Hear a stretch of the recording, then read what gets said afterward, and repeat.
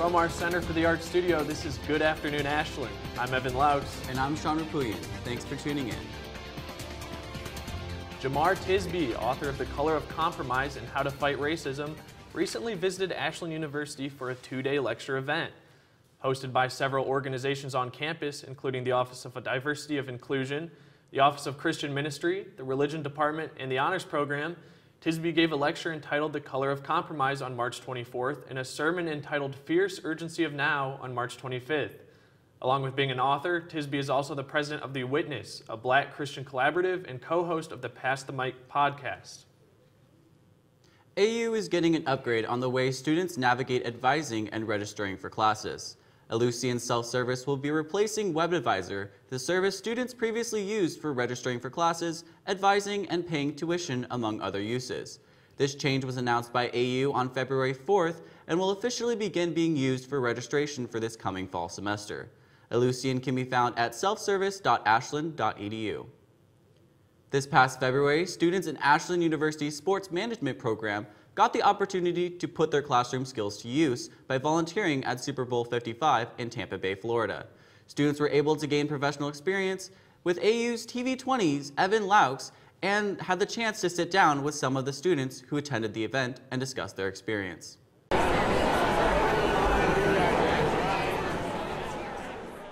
Because of the COVID-19 pandemic, many students are finding it difficult to find those enriching experiences outside of the classroom. However, 11 lucky students from the Ashland University Sports Management Department found just that when they were given the opportunity to travel down to Tampa, Florida in early February to volunteer at the NFL Super Bowl fan experience. So that was really nice being able to see how sports can connect to people um, in several ways past just participation and just seeing the passion and being able to just have fun because at the end of the day, that's what sports is all about. Students volunteered for 30 hours over two days, assisting with fan drills such as the 40 yard dash, QB scramble, two minute drill, field goal contest, and other popular attractions.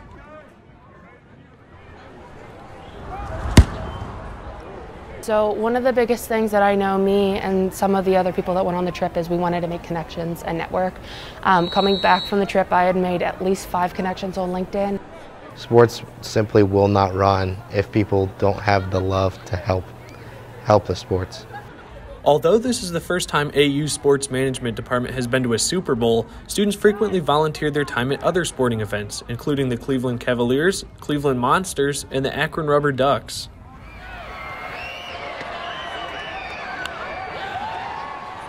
So the biggest experience that I would take from this is you try to be consistent in everything that you do. So we just kind of helped out, you know, just trying to make the experience that much better for especially younger kids and, and the parents themselves.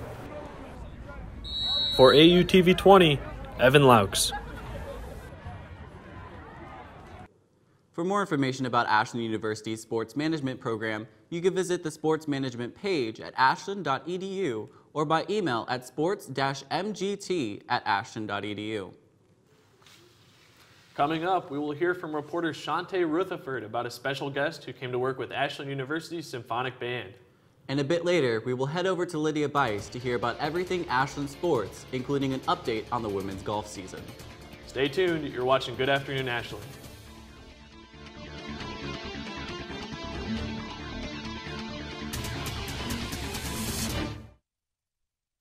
From our Center for the Arts studio, this is your AUTV 20 Sports Break. It's more than a college TV station. It's award-winning student-made content. It's the latest news in sports. It's talking to campus. It's reaching out into the community. It's real-world experience. It's AUTV 20.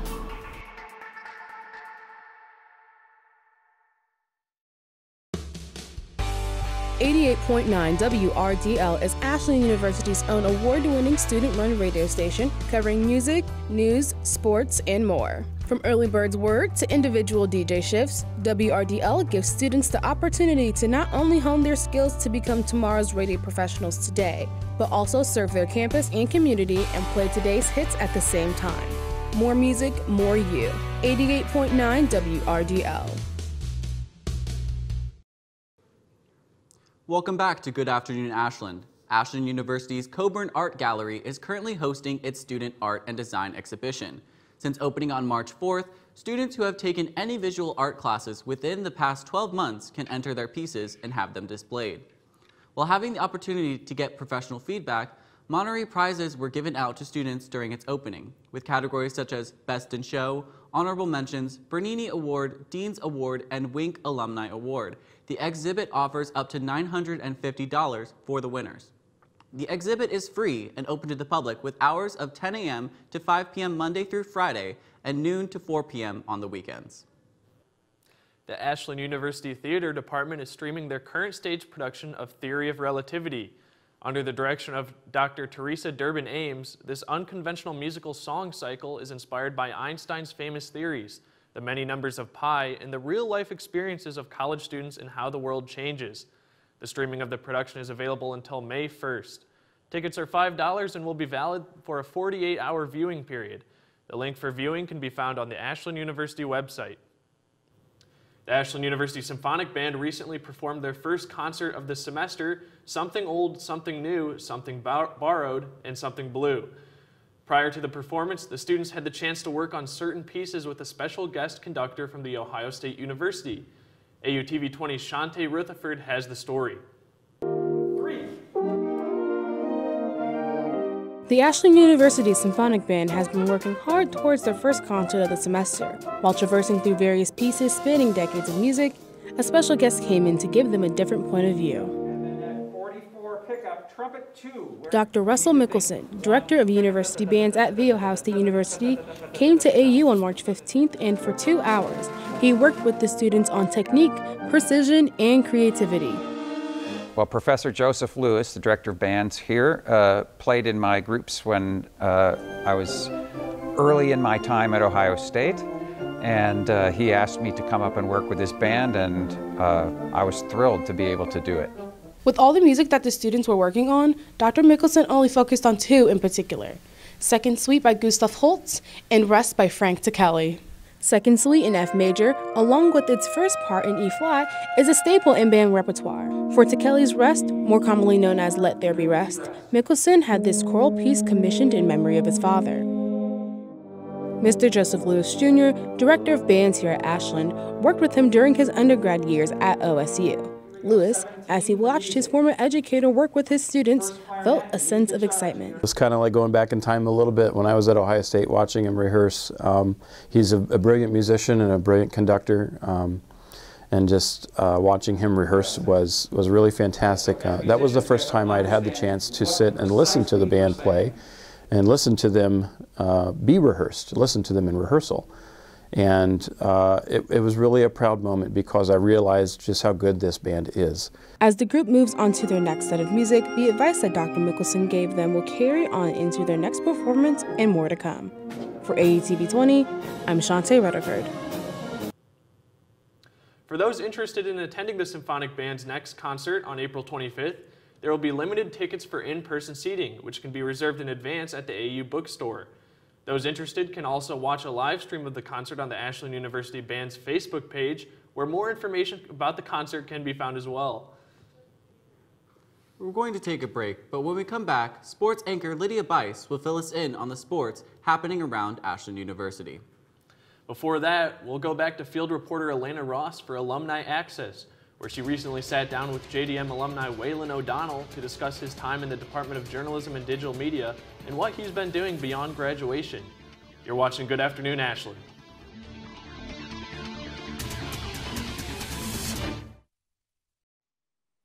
Hi, and thank you so much for joining me. thank you for having me, Miss Alayna. Thank you so much. So, could you tell me when was the last time that you set foot in JDM as a student? As a student. Uh, the last time I set foot in the JDM department as a student was in December of 2018. Uh, I was, I mean, I graduated that December. I that was a goal of mine throughout college was to graduate in the fall as opposed to the spring because I have uh, a lack of like towards graduation ceremonies and I wanted it to be quick. And um, uh, that was the last time, yeah, I set foot in in a JDM department. Cool. including so, ours. So you've had a good portion of time to kind of reflect on your college career. So um, could you tell us a little bit about your experience in JDM? Sure. So originally, I was not a, a JDMer. I was, when I started out in Ashland, I was in the theater department. I switched over to the JDM department after a year because of my interest in broadcasting. Uh, and let me tell you, the, uh, the faculty, they know their stuff. They have an all star lineup there that gives you hands on experience. They work with you as an individual, they work with your strengths, and they put you out of your comfort zone so you can grow at the maximum uh, proficiency that you can grow. And because of that, it, it really prepares you for the world to come. Uh, and it's, it's, it's a marvelous department. I look back very fondly on all of my years and all of my experiences with everyone in the JDM department. Um, what are some skill sets that you learned during your time in JDM that you now use in your in your job? Uh, interviewing is is one, and I mean, uh, be, it, the interviewing skill set is is very important, especially if you're on radio, if you're in written journalism, uh, if you're doing sports. You got to know how to talk to somebody else and get the information you want to get. And uh, I I thank the JDM department for teaching me that. Also, uh, confidence. It uh, the re- repetition gives you a lot of of just muster going into the into the field, and uh, it, they also teach you how to network. Social media is a huge thing right now, and so networking has been easier than ever before thanks to the digitalized world. And so they teach you how to utilize that because all the students that you see around you when you're when you're in class and when you're uh, uh, you know on campus that's a potential contact for you in the future whether that's in your department or someone else's department. And people tend to lean on each other more so than not. And so use that to your advantage and uh, network with your friends acquaintances maybe people you didn't necessarily get along with because we're all about to face the real world and uh, it's it's it's it's not easy but uh, it's rewarding. Awesome. And then my final question is kind of a little selfish on my part because I am a senior. But what advice do you have for people like me as we go from like, you know, 16 plus years of schooling into being an adult? you, you nailed it on the head. You, you've been going to school for 16 plus years, since kindergarten, since preschool, and that hasn't been your choice that is something, you know, and you're grinded in your high school years, your junior high years, you got to go to college. You got to get a degree, you know, if you want to find a good job.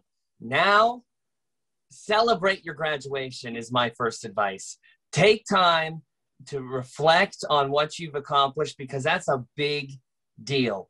But after that minuscule time of celebration, put your nose to the grinder and start running. I mean, this isn't a playground. This isn't recess. Uh, you know, you've got a network. You got to get yourself out of your comfort zone and utilize your education because you're lucky enough to have one. And try. My biggest advice is if you're looking for something and you don't know what to do or you're, you don't know which way to go, find a way to make a difference in the community you love, whether that's your hometown or where you want to move. Find a way to make a difference and you'll meet people and who see your genuine desire to change the world even on a minuscule level and that'll just take you so many places and give a very fulfilling purpose to you as an individual and you'll learn from it and it's just a, small steps will make a big difference in the end awesome well is there anything else that you would like to add no, I just really appreciate you having me, and I just I'm honored to be a part of it. And JDM for life. That is me. awesome. Thank you so much. You're welcome. Thanks, Alayna. I appreciate it. Hello and welcome to Good Afternoon Ashland Sports Update. I'm Lydia Bice. Thanks for tuning in. Ashland University's men's and women's tennis home matches scheduled for March 26th against Purdue Northwest have been postponed due to COVID 19 protocols in the Great Lakes Intercollegiate Athletic Conference. A potential makeup date and time will be announced in the near future. The next scheduled matches for the Eagle men, who are 3 and 4 overall, and the women, who are 2 and 3 overall, are on March 27th at noon at home versus Davenport, April 2nd at Michigan Tech, and April 3rd at Lake Superior State. Director of Athletics Al King has announced the hiring of Alec Mueller as Ashland University's new esports head coach. Mueller replaces the program's first coach, Josh Buchanan, who left the university earlier in the semester to pursue another opportunity. Mueller is a 2020 graduate of Ashland University and competed on the AU esports team as one of its inaugural players as part of the Fortnite team. Ashland University's women's golf team played the second and final day of the Findlay Spring Invitational on Tuesday, March 23rd at the University Club of Kentucky. Leading the way for the Eagles in the 54-hole event was senior Sophie Hemleben, who tied for 48th place individually. I sat down with Sophie and women's golf coach Eugene Grabick for an update on their spring 2021 season. As many of us know, the COVID 19 pandemic has changed a lot about our world. For the Ashland University women's golf team, they lost two seasons of opportunity in the spring and fall of 2020. However, they are back in action and ready for a successful season here in the spring of 2021. When asked what he is looking forward to most about the upcoming season, Coach Gene Grabick says competition, since his girls have not been able to compete in about a year. You know, I see a lot of girls that have come to me, three freshmen that have never played. Again, they haven't played for a year in competition. So mentally, just getting them to think how to be competitive, how to go out and compete and play to a new level, just exceeding their expectations. So that's what, as a coach, you know, the expression I have to coach them up, and and for them to believe in themselves and believe in their abilities. Senior women's golfer Sophie Hemleben says that the season is much different due to COVID 19 concerns, but she is looking forward to guiding the younger girls through these challenges. Obviously, with COVID, we have to wear masks and everything when, when, when we're in the hotel, but I'm really excited for our older members to guide our younger members that we have on the team. Ashland Women's Golf has been working on many aspects of their game in preparation for spring tournaments, but Sophie in particular says that she has been focusing on her short game. Personally, I'm working on my short game. We just played a course that really enhanced how weak we are in our short game, so we're all working on that. But I think just mentally on the course, we're all working on staying more positive and playing in the moment rather than thinking ahead. For AUTV 20, I'm Lydia Bice. The women's golf team will look to continue their season on April 4th and 5th at the NC4K Classic in Gahanna, Ohio, and April 17th and 18th at the 2021 GLIAC Championships in Augusta, Michigan. In national sports news, the NCAA has hired an outside law firm to review gender equity issues in its athletic championships after numerous complaints pointed out inequities in facilities and amenities between the men's and women's basketball tournaments. According to a statement issued by NCAA President Mark Emmert, the organization has hired Kaplan Hecker and Fink LLP to evaluate their practices and policies and provide recommendations on steps that the NCAA can take to get better. The firm says that one of its specialties is employment and discrimination matters, including Title IX and gender equity cases. The Ashland University swim and dive team recently finished their final season competing in the GLIAC Conference with many notable accomplishments throughout the season. AUTV 20's own Ben Volker recently went and discussed the season with several of the athletes and their coaches. Following one final appearance at the GLIAC Championship meet, the Ashland Swim and Dive team has begun their off-season training. The goal for this off-season is simple, get stronger and have fun. Off-season is an interesting topic because some coaches want to keep everybody in the exact same shape, push them hard, get them ready for a tough summer, but that's not my, my focus. My focus is let's build some strength in the weight room, Let's keep our feel of the water and let's have fun, okay? Due to COVID, the swim team was smaller than it was in previous years due to many swimmers choosing to redshirt this past season. Those who did swim, however, did very well. I'm very happy with how we did. Last year we had 52 PRs, this year we had 28, and I'm ecstatic that we were able to have that many. Um, very happy with how they did individually and as a team. I'm so excited to have everybody back next year. Um, we're going to be bringing in some new people too, and I'm just really excited to have that full team atmosphere again where the entire pool is full. We're, we're able to do these tough sets and cheer each other on. The team is set to transition from the GLIAC to the Great Midwest Athletic Conference, or GMAC for short. With this change comes lofty goals and high expectations to succeed right away. Moving into the GMAC is going to be a very big change for us. Uh, we're going to be going into a conference where right away we're going to have a nice battle for the championship, and I think we've got a good shot at it. It's going to take a lot of teamwork, it's going to take a lot of hard work, but I think it's within our grasp. For AUTV 20, I'm Ben Volker. This has been your Good Afternoon Ashland Sports Update. I'm Lydia Bice. Thanks for watching. That's it for this edition of Good Afternoon Ashland. We hope you enjoyed. Don't forget to follow us across social media at AUTV20. And make sure to tune in to the Early Birds Word, weekday mornings from 7 to 9 on 88.9 WRDL.